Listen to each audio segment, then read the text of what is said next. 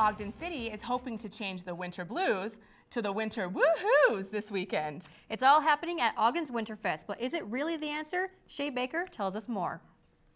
Road markers and road signs are everywhere. In fact, only the busiest streets in downtown Ogden are open for traffic.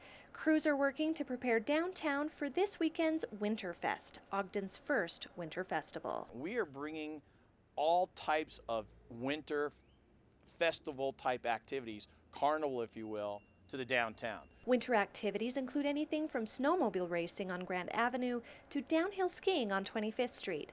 But what's the point? Several streets are filled with snow on my left in an attempt for the businesses on my right to receive a bit of an economic boost. That's a welcome boost for historic 25th Street. On a usual day, it's one of downtown's busiest streets, but due to Winterfest, business is frozen solid. A few days it's kind of hard for local clients and stuff to get around with parking and stuff like that. The owner of this taco stand feels the same. His family relies on weekday business, but to him, Winterfest is worth the wait.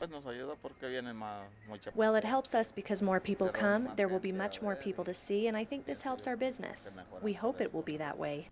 Organizers hope for the same. There's just going to be so many people down here that it absolutely be a huge boost to the downtown. Boost or not, the festival and all that comes with it are on. From downtown Ogden, Shay Baker, Weber State News.